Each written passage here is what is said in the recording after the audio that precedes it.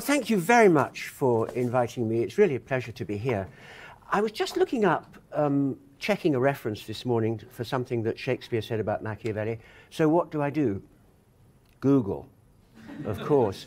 I could not live my life without Google. I couldn't begin to do that. So, thank you all very much for existing. and thank you for the invitation. Well, uh, here we've lost him now, but that was Machiavelli. And among philosophers, Machiavelli is unusual. In fact, I can't think of many other examples in that we've turned him into an adjective, haven't we? So that you might say of someone, well, that was rather Machiavellian. Um, I'm not sure that we always know what we mean. That's what I was looking up in Shakespeare. He says, of course, he, he makes the infamous Richard say, I could send the murderous Machiavel to school. So he's murderous. Um, but many different things are meant by talking about Machiavellianism. So I thought what might be useful is if I were to try to do something which is quite difficult, which is not to ask what we might mean by this, but what did Machiavelli mean by it himself? And I'll try to do that by way of talking. I'll just talk for half an hour, just rave on at you, and then we can talk together, I hope, which will be um, more interesting, I think, for you. Um, I'll try to do this by talking about the book that I think people most often, have, most often have in mind when they talk about Machiavellianism, which is his book, Il Principe, The Prince, um, completed in 1513, first printed in 1532, and of course, not long after that, it becomes, as it has remained ever since, an absolutely global text. And even if you write about him, you become a global text. So, just briefly to boast, this little book is currently available in 25 languages. Um, and of course, uh, uh, that is simply the global name. I'll start by saying a word, if I may, about Machiavelli's life, because that's extremely important in relation to his political philosophy. So he's a Florentine, he's born in 1469, son of a lawyer, all that's known about his early life is that he has a good classical education, which in those days meant learning Latin to a very high standard. I mean, he writes, he's bilingual. He writes in Latin as well as in English, and, and often, of course, when he's writing legations, uh, he's writing effectively in code. Um, writing in Latin rather than in Italian. They're on the cusp of Italian, but of course they've already had Dante and Petrarch, and so they have a great literary language to which he very spectacularly contributes himself. So there is his education. Um, the first that history hears of Machiavelli is in the year 1498. So um, France invades Italy in 1490. The Medici, who have been informal um, tyrants of Florence for the last 50 years, they quite soon get thrown out, and the traditional Florentine Republic is restored. And from nowhere, Machiavelli, still only in his 20s, becomes the second chancellor of the Florentine Republic. He has no previous administrative experience that's known about. Actually, quite a lot of research has been done on this because the Archivio di Stato is good in Florence, and you can find out quite a lot about Machiavelli's entry into the chancery. But it comes from nowhere. But he is second secretary, and as um, second secretary, he ranks as one of the secretaries to the chancellor, Piero Soderini, who is a friend, um, in consequence of which he is sent on a number of diplomatic missions. And that's what's important in relation to his political writings. The first is in 1499 to Caterina Sforza. I mention it because it's important to remind ourselves, especially in a book that is, I have to say, very heavily gendered in its thinking about politics, that in order to be a prince in Renaissance Italy, you did not have to be a man. And Machiavelli is extremely impressed and actually rather cross with Caterina Sforza. She turns out to be a very difficult person to negotiate with. So that's 1499. And then in 1500, he is sent for the first of four trips that he makes, long trips, to the court of Louis XII of France. And on each of these occasions, he has a number of audiences with the king.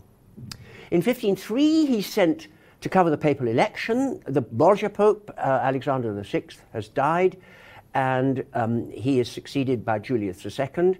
Machiavelli meets, of course, both these people, and he subsequently has several meetings with Julius II.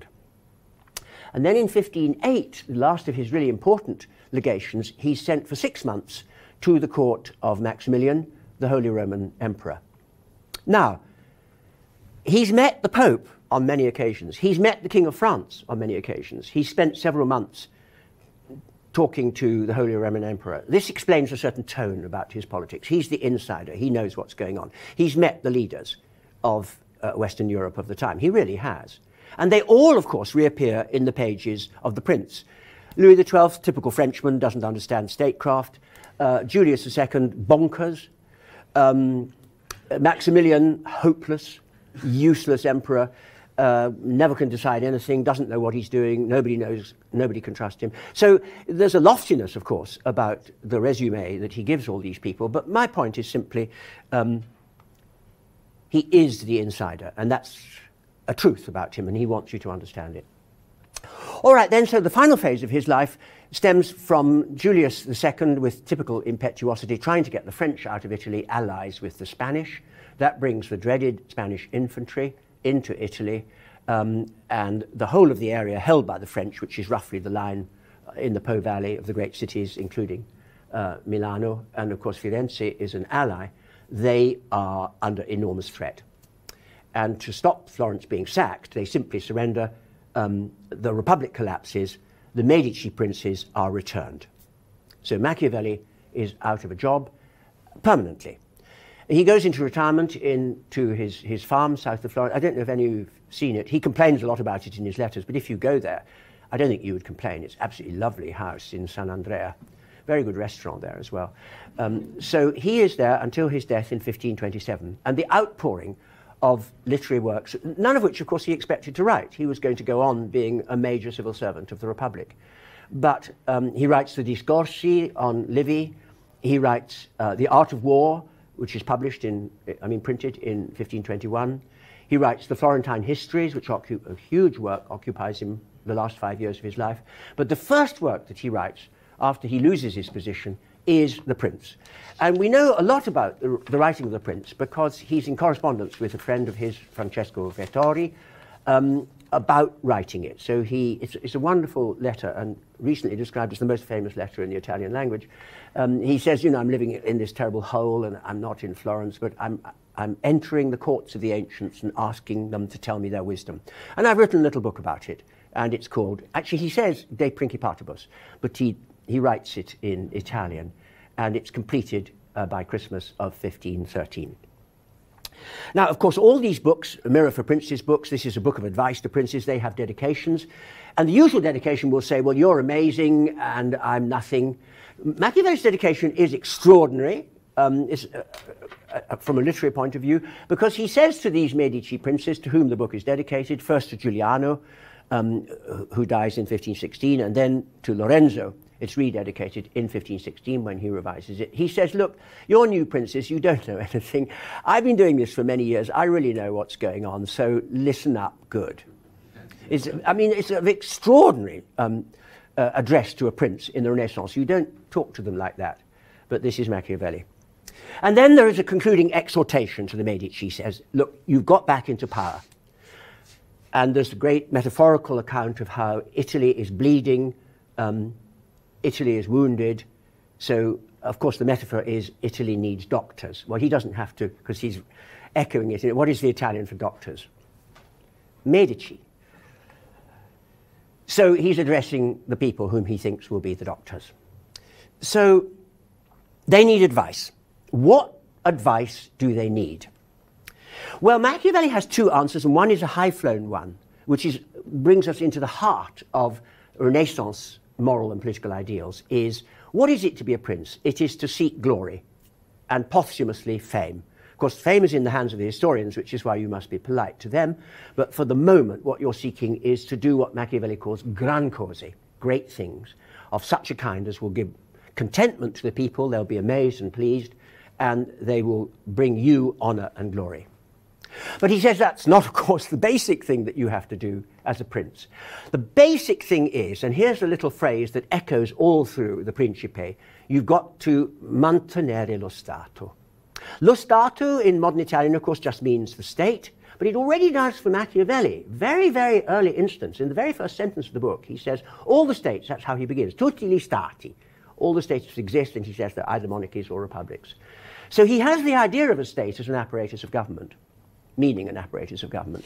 But of course, in addressing a prince, he's also saying, look, you've got to maintain your state, i.e., your standing, your status, um, your state as a prince, your princely state, as we would say in an old literary phrase.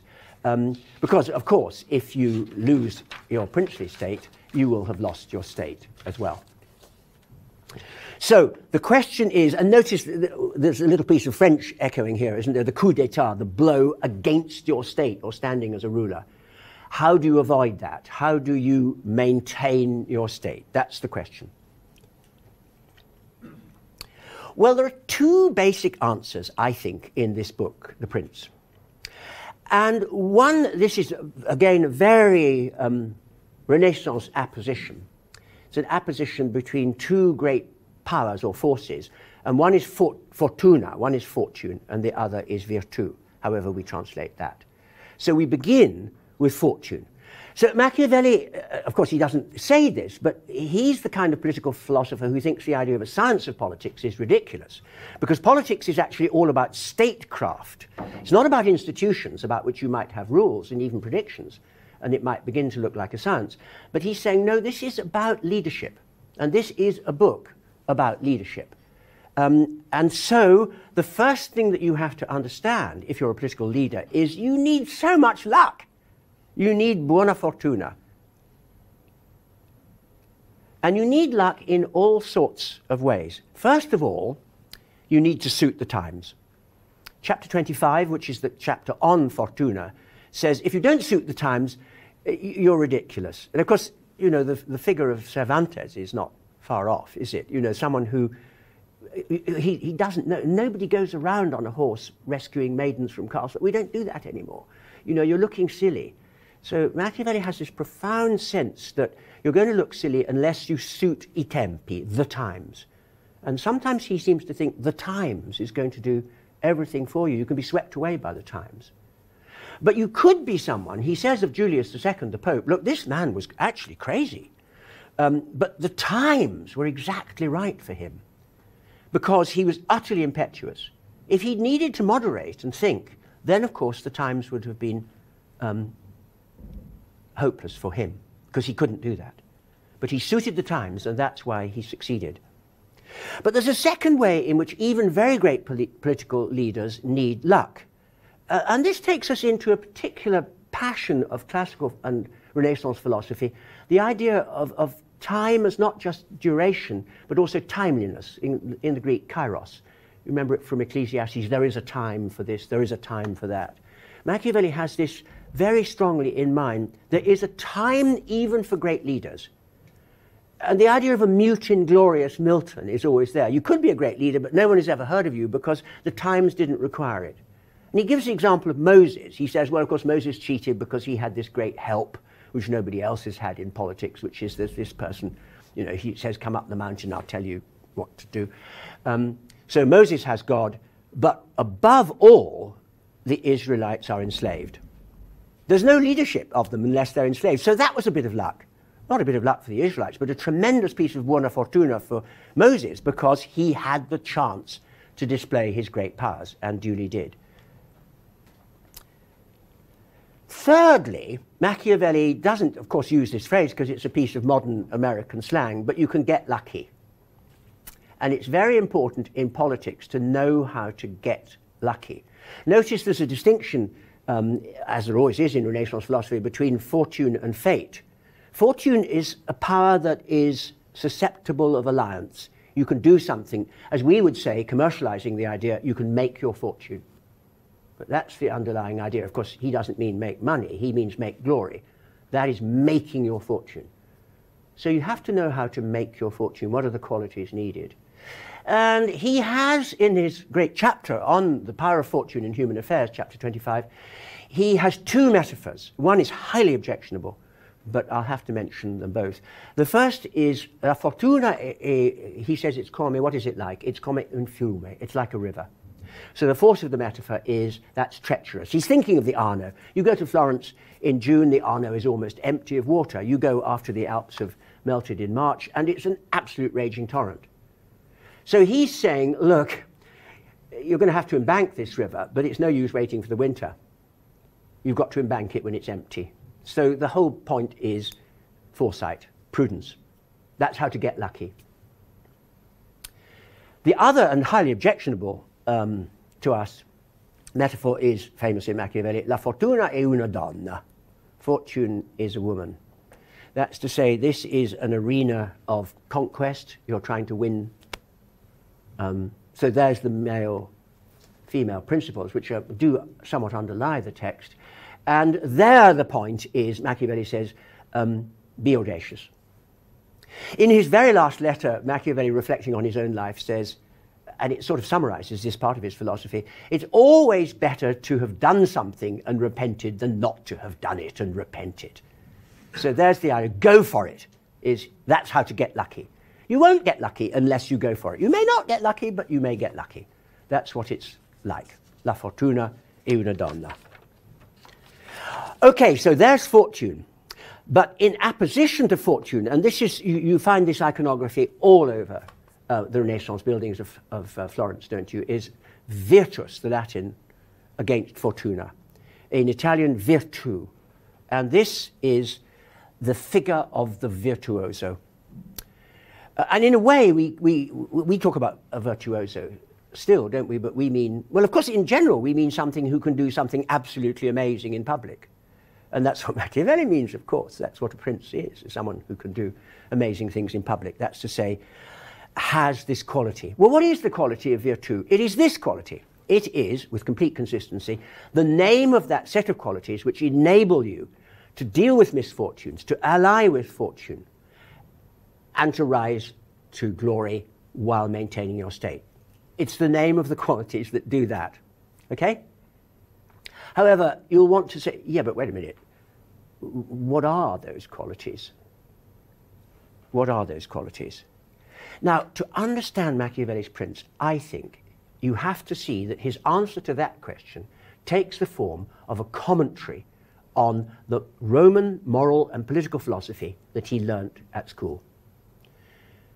And if you think of this book as a book about Cicero, you won't go far wrong.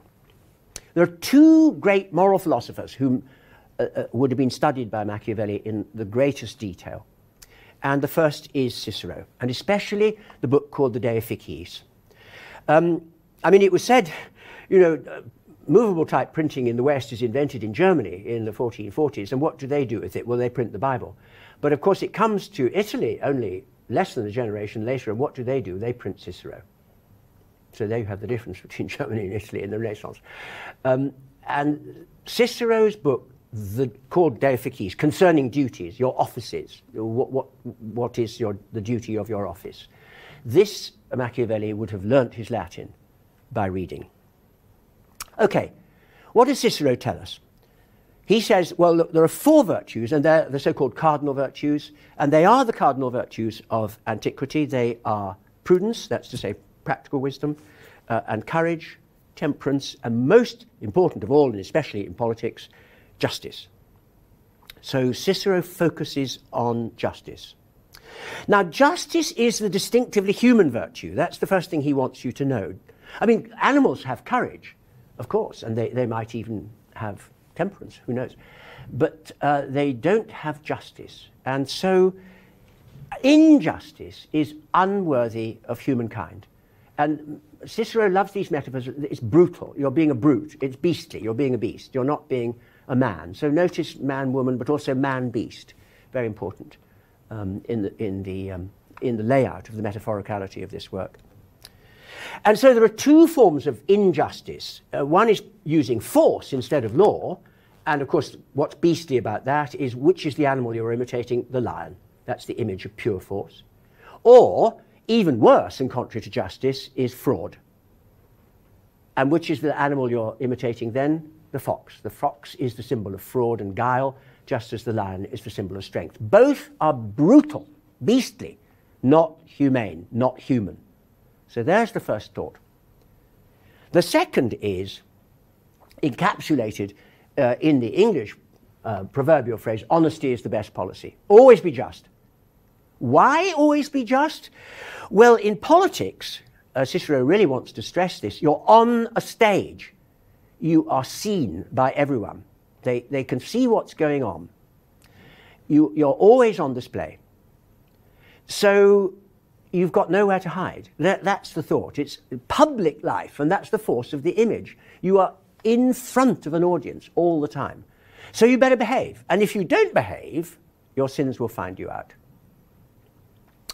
Now, to that thought, Christian writers on how to, to advise princes, and I'm thinking of someone like Aquinas's um, Education of the Christian Prince, um, add, yeah, but there's a much more important reason why you must always be just, which is that there's a day of judgment. And if you have seriously sinned as a ruler, that will be declared at the day of judgment, and you will be penalized, and then you'll be sorry that you weren't just. So it's always, here's the thought it's always rational to be moral. Okay, so there's Cicero. The other figure I need to say a word about, very, very important for the political theory of the Renaissance, is Seneca, because Seneca writes um, under Nero two very important moral treatises about politics. And one is called the De Beneficiis, the, on concerning benefits, which is about non contractual relations. And here the fundamental virtue is not justice, but generosity. And the great thing about generosity is it's better than justice. The second uh, text he writes is called De Clementia, concerning mercy. And again, this, of course, he's writing under Nero, so he's writing in praise of monarchy. Um, monarchs can be clement. Laws can't be clement. Laws have to be just. So clemency, again, it's better than justice. So you have these two so-called princely virtues. Okay, now, I, I want to say now, um, think of the prince as a commentary on all of that. Now, uh, if you think of it as a commentary on the four cardinal virtues, um, Machiavelli, he doesn't speak up for temperance, does he? But we've seen him speaking up, uh, because he prefers impetuosity, I think. But we've seen him speaking up for prudence in relation to the fiume and courage in relation to la donna.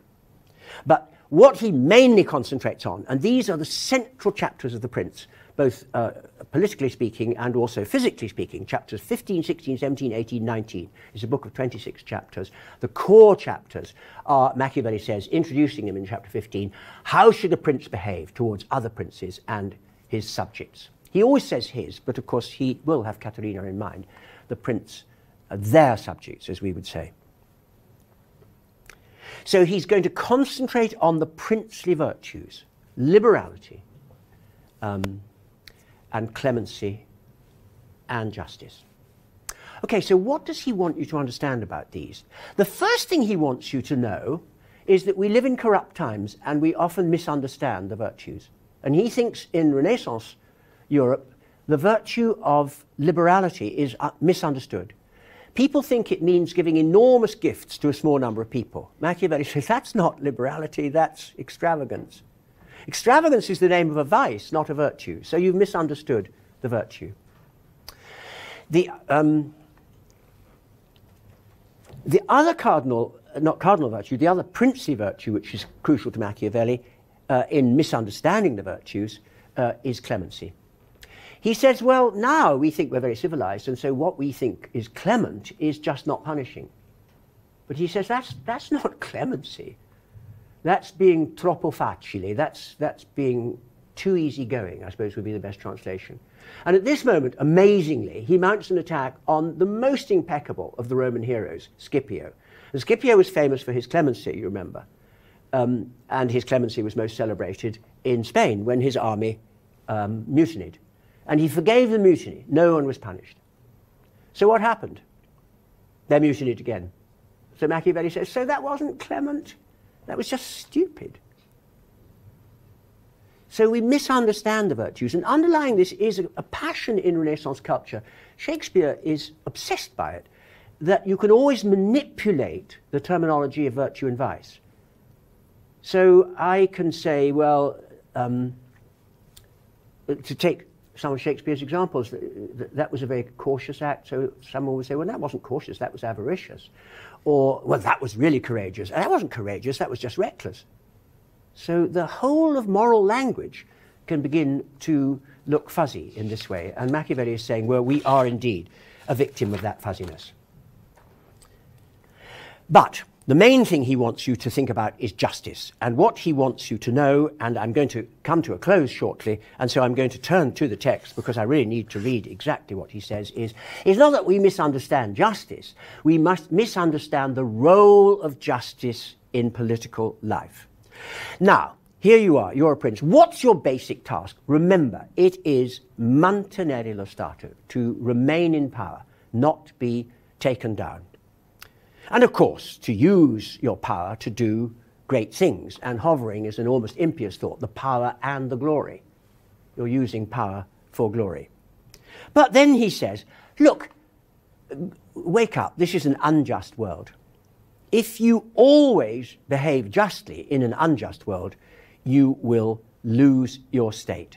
And I want to quote now, because what I want to show you is that this which is almost the most central claim that he wishes to make, is laid out as a parody, I think satire, on Cicero. Everyone knows how praiseworthy it is for rulers to keep their promises and live uprightly. Nevertheless, his favourite phrase, non de manco, no rules. I mean, there's always an exception. Nevertheless, experience shows that in our time, the rulers who have done gran cose, who have done great things, have held the keeping of their word and the maintenance of justice of little account. I say there are two ways of contending. One is by law, but the other is by force. The first, it's true, is appropriate for men, and the second for beasts. Notice all the Ciceronian story. But the former is insufficient, so the prince must have recourse to the latter. So a ruler must know how to imitate beasts as well as employing manly methods. Since a ruler must know how to act like a beast, he'd better know which to imitate. And I say he should imitate both the lion and the fox. A prudent ruler, therefore, is not going to keep his word, and nor should he, when that will endanger his stato. This advice would not be good if men were good, but they are not and will not keep their promises to you. So you should not necessarily keep your promises to them. It is those who are best able to imitate the fox who succeed best. So the basic Machiavellian rule, I put, it's very simple. Uh, it's at the heart of the book, and I'm going to quote at the very beginning where he lays it out when he says, "I'm now turning to how princes should behave." Chapter 15. There is such a great distance between how we live and how we ought to live that anyone who sets aside what is done for what ought to be done learns more quickly what will ruin him than maintain his state. A man who wishes to make a profession of doing good in all things will be ruined amongst the many who are not good. Hence, if a ruler wishes mantenere lo Stato, he must learn essere non buono, the Italian says. He must learn to be not good, to act contrary to justice. So there's the fundamental claim. However, there are two supplementary Machiavellian rules. One is you must only act like this if it's necessary.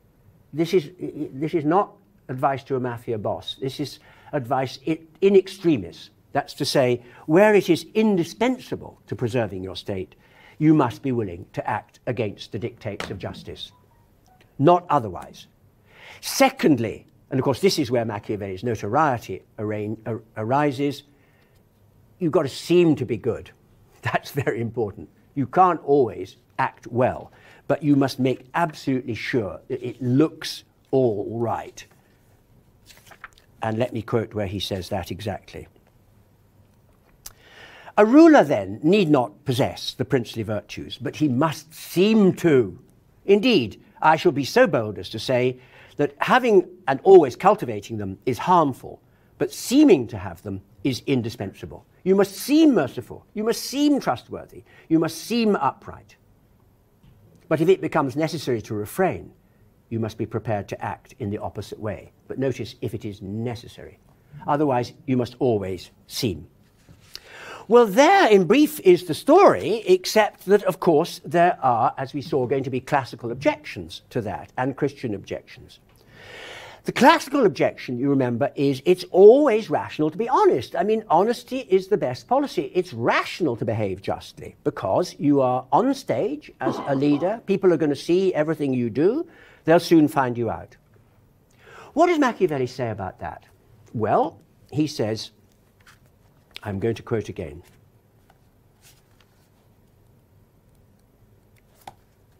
He says, This is extremely naive. In these days and in these matters, men judge more by their eyes than by their hands. Everyone is capable of seeing you, but few really touches you. Everyone can see what you appear to be. No one much has direct experience of how you really are, and those will not dare to challenge the popular perception. With regard to all actions, but especially those of rulers, men pay attention to the outcome. They're not really going to ask, is this an honest presidente? They're going to ask, how is the economy doing? If a ruler contrives, therefore, to conquer and preserve his state, he will always be judged honorable and be praised by everyone. So he's saying, don't be naive about that. Politics is about outcomes. But remember the Christian objection. The, the final and most important one is there's a day of judgment. You, you got it all wrong. If you act like this now, that's going to be disclosed. You're going to be punished eternally. Don't do it. So, what does Machiavelli say about that? Nothing. and that silence at the time would have been the most amazing thing about the book. Thank you. Thanks very much. Good. Thank you very much. Um, any questions? Thank you very much, Quentin. Um, you mentioned the concept of shame and the idea that you you may have to do shameful things, but you should present yourself as not having done those yes. those shameful things obviously we live in a world where you, you might argue politicians are doing things that would um, previously have been embarrassing to them, and it, it's being put onto the public stage. We know when they are being hypocritical. We know when they have done something in their personal life that's embarrassing, and yet to some extent they are living with their sins and yeah. maintaining their position. Would that have surprised Machiavelli? Would it have? Yes. Well, he's quite cynical about this. That's a very good point to raise, and he doesn't have a subtle answer to it. Um, because he thinks that most of this classical moralism is quite naive and that um,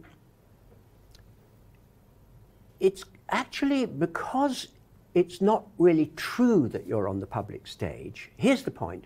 Cicero is writing about a republican politics. You're in a representative assembly or you're meeting the people. Everything is indeed in public. But he's saying, look, that's not how it is in modern politics. You're actually living in a palace. You've got guards. You're, you, have got a big security service. It's, you're, you're out of sight. Um, and this uh, actually allows him a further thought, which is the absurdity for Machiavelli of the classical idea of decorum in public life, and especially sexual decorum. Uh, and, and he says, well, I don't see why we're worrying about this. This is not going to cause you to lose your state. You're living in this enormous palace. You're paying these people. If they start to tell on you, you'll fire them. They know that. They won't. Don't, don't, you don't have to worry about that. And so there's this idea that the, the politics of modernity is not the politics of the Republic. It's the politics of the closed space. It's presidential politics. It's absolutist politics. And then your worries just don't arise. It's naive to think they do. Of course, in republics, it's different. But he's writing for monarchies.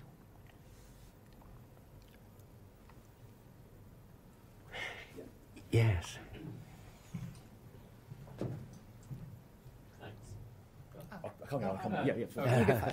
um, you started off by uh, quoting Shakespeare and, and, obviously making him real in our time.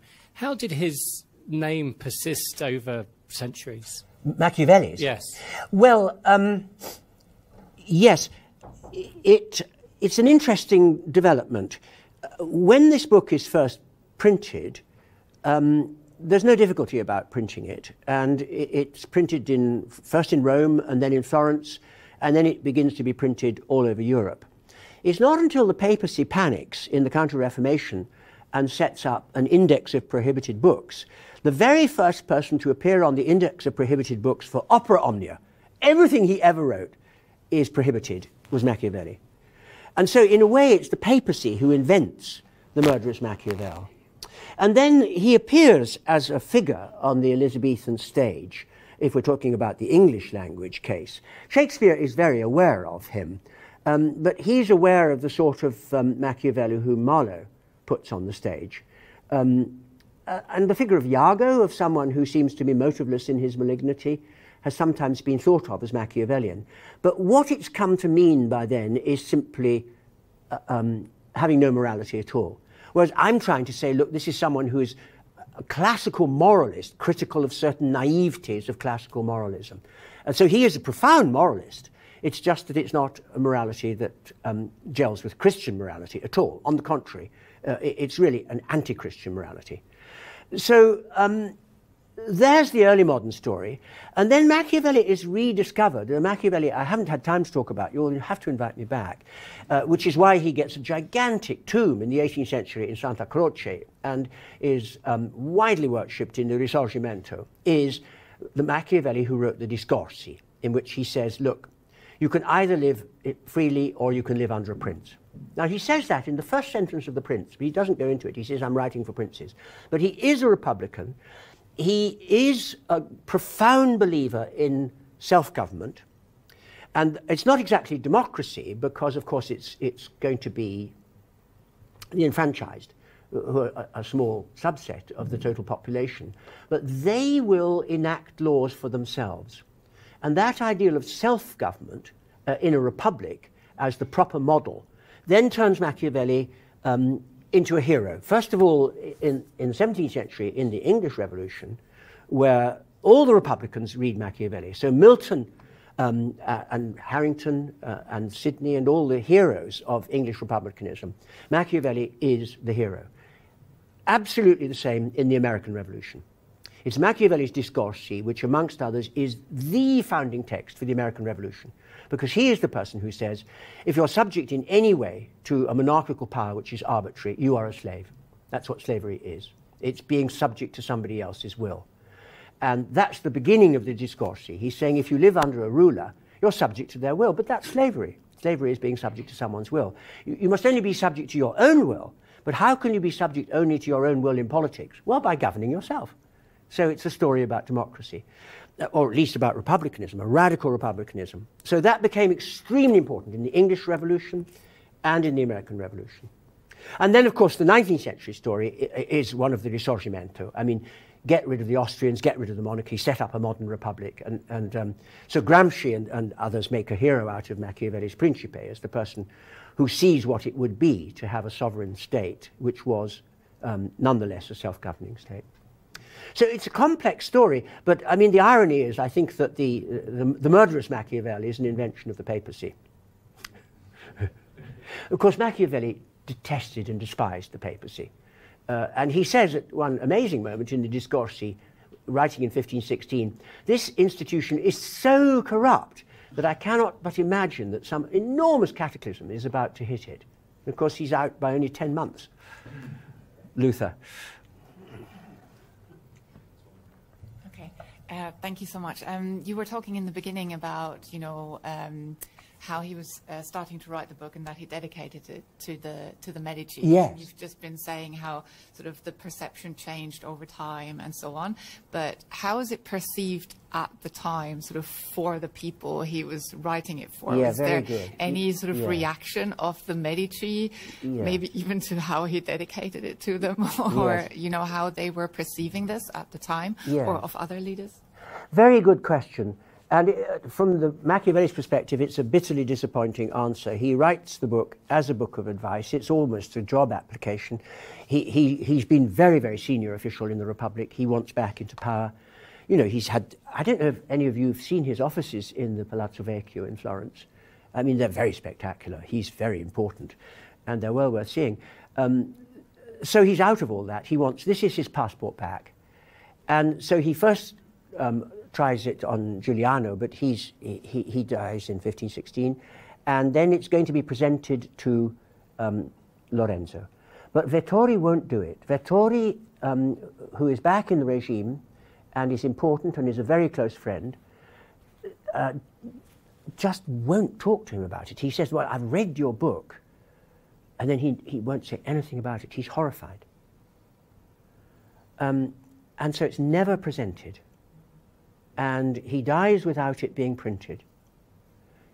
Uh, it's not quite clear how it comes to be printed, except that his wife, who's much younger, outlives him by 25 years, and she will have had all the manuscripts. And then it, it is put into print almost immediately. And of course, it's a sensation straight away, of course. Um, but it's never, it never does the job that he hoped it would do.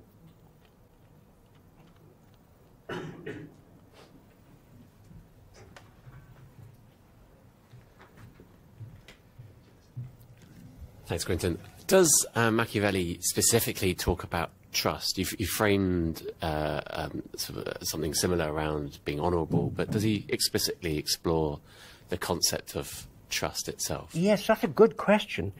Um, he does, in as much as he thinks, and he says at one point, he, he's not a great political psychologist, but he says at one point in The Prince, look, everything I say is predicated on the assumption that people are not to be trusted. Um, and that you cannot expect trust. And he's often thinking of treaties. A treaty will be kept, especially by the French, if and only if it suits the French to keep it. Otherwise, it won't be kept. And that's the hard truth about politics. So, um, trust, of course, in Latin fides, is in the classical tradition held to be the foundation of justice. And of course, the watchword of, of the law is fides sit servanda. Good faith, trust must always be kept. And you could therefore say, um, and it wouldn't be much of a stretch, that this is a book about how that's, that's really not going to work. That really is not going to work. And I think another extraordinarily shocking moment for, in the book is one that we can't readily recapture, is in the book, although it's written in Italian, the chapter headings are in Latin. And chapter 18 in the Latin um, takes up this question, uh, uh, which is Cicero's um, phrase, but of course it's, it's almost a proverb Fides sit servanda. Trust, good faith, keeping your promises must always be kept. And Machiavelli's chapter heading is Quo modo fides servanda. How, how far should we keep our faith? Well, if you're reading that, I mean, no wonder the book's an immediate sensation. You can't believe that chapter, Henry. What, what do you mean, how far should I? But that for him is the whole point. But of course, he's not a theorist of trust. And here, uh, later writers on the science of politics, and especially, I think Hobbes probably has him in mind in Leviathan when he introduces the figure of the fool. And the fool is the person who saith in his heart, There is no justice. Uh, I'm now quoting Hobbes. And he says, Look, this person cannot be allowed into any corporation, into any civil association at all. Because what this person has just proclaimed is that they will tell you they're going to meet you for lunch at one, but you've got no reason to think they will. But this is someone you can't contract with. But if you can't contract with them, you can't have any social relations at all. So that view of Machiavelli's became, of course, um, an extremely polemical one. And um, the natural law tradition is there to say, actually, that's really a huge mistake about politics. And the question of whether it is or it isn't, of course, we continue to debate. Mm.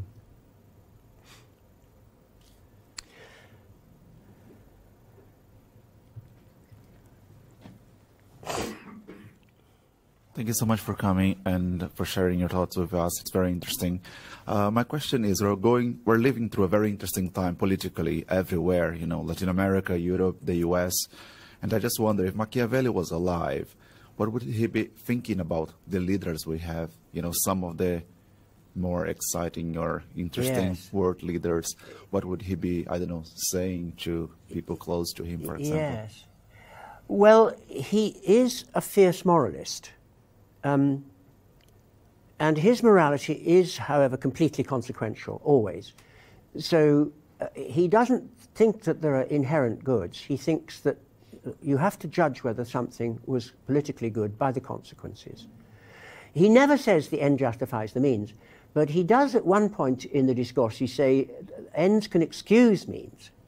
So he's talking about Romulus and the founding of Rome and the fact that he killed his brother when they disagreed. And that's fratricide. So he says the deed accuses him, but the outcome, which was the founding of Rome, which rose to rule the world, excuses him.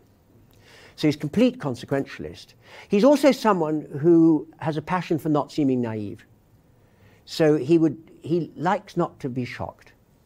Uh, and indeed, he's very reluctant to feel shocked. That just seems to be a feature of his personality. So I don't think he would be shocked by our politics. I don't think he'd be surprised by our politics. Um, but he would definitely think they're extraordinarily corrupt. Because the foundation of corruption is putting your interests, sectional or personal, or party, or corporate, above the public interest. That's what corruption means in Machiavelli. Because unless you put the public interest first, there will be no success of running a civil society. That has to be run in an uncorrupt fashion. And that's really the central um, doctrine of the Discorsi in talking about democratic politics, which is what he is talking about there, is how easy it is to corrupt people. And that's why he's a great enemy of the rich. He says the rich will always bribe you. Um, and that's what the Medici did. They found out who was sitting on all the committees, and they went round and said, "How about um, a, a, big loan?" Um, the bank, and of course, they, of course, the bank went bankrupt because they did this so much. But they corrupted an entire political community. Uh, so, and we still say, don't we, bribery and corruption, bribery being the example of it. So he's a great foe of that. Um, and he, he would think that um, issuing manifestos before a general election where you have no fiscal means to produce the results of your promises, that just is corrupt. And that is completely untrustworthy because you're telling people things which you know you're not going to do. So he would not be surprised, but he would be very shocked by us. And he'd be right.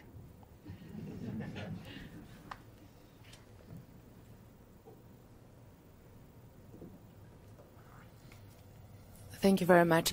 My question is to perhaps try to understand what is it that happened to Machiavelli during his life that he was uh, he, was so bold in the way he wrote and kind of so extraordinary even yeah. not only back in the day but also we still are kind of moved and shocked to yes. extent about the way yes isn't it interesting i'm not a psychologist and i can't say that there is a biography of him that plumbs these depths very well um, it's understandable that he should have been a passionate Republican. He'd served the Republic. He believed in self government. Uh, he wanted it restored. Uh, and so he is, in that way, an, a strong anti Medicean. And he suffers an appalling misfortune at the collapse of the Republic in 1512 when he's mistakenly supposed to have been part of a Medicean, anti Medicean conspiracy. And he's imprisoned and he's horribly tortured. And that must have marked the rest of his life. I mean, must have injured him seriously, but also just must have marked him psychologically. But I think that the psychology of someone um, who is, amongst other things, a satirist. I mean, in a way, what I presented you with this morning was a satire on Cicero, wasn't it? The lion and the fox. I mean, he picks up all the phraseology and he turns the whole thing upside down in the name of the fact that this is naive and this is unrealistic and this is not politics. So he's someone who's passionate about, about politics and about a kind of political realism. And he's passionate about um, a republic. But of course, he's living in an age of princes, so he's a disillusioned person. So I think of him as disillusioned and melancholy and satirical.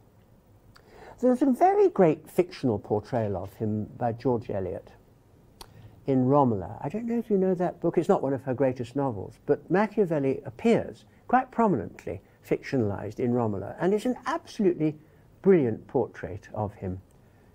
And in it, um, they, they meet in a barber shop and they're always talking about politics. And he's, every time he speaks, it's an epigram. And um, then someone says to him, Well, you're just completely cynical. And George Eliot makes Machiavelli say, and I quote exactly, My philosophy is for anyone who can see beyond their own nose. That's all it is. But if you're self interested, that is not seeing beyond your own. So it's a big demand.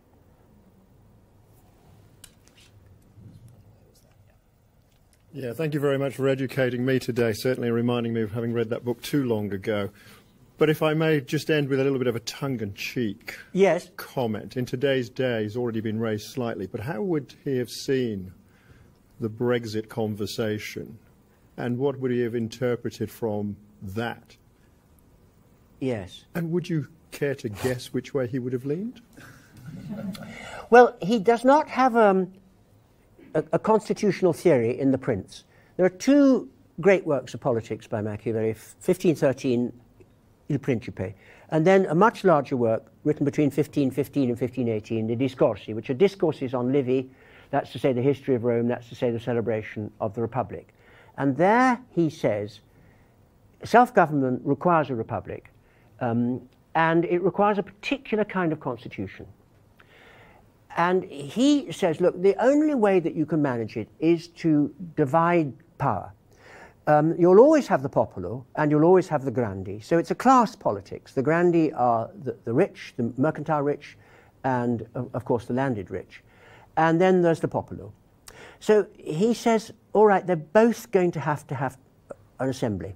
And he's thinking of Rome. There's a Senate for the grandi and there's the tribunes of the people. But he thinks, no, you should have a Concilio Grande, which is, a, which is why in the great republics of Italy, especially in Florence and in Venice above all, you come upon these gigantic rooms. Why? Well, because that's the popolo. It's got to be able to assemble. It's going to debate war and peace. It's going to debate taxation. Thousands of people will be present. They're going to raise their hands or not. Um, and that's self government. So Machiavelli says, all right, but they're never going to agree. The grandi will have one view and the popolo will have another. Right law must be only what they both agree to. Don't try for a law where half of them don't agree. That's never going to work. So he says it's a paradox of politics that if you want liberty, you need conflict because you need conflict of the orders. But the conflict of the orders that produces liberty is that neither gets its own way. So the laws are a series of compromises. Uh, and he says, uh, you know, otherwise it's not going to work. And why is that? Because you'll get very big minorities and they're pissed off. And very big minorities are always pissed off. And that's very dangerous. All true, by the way. Brilliant. I think we're um, more or less These are good questions.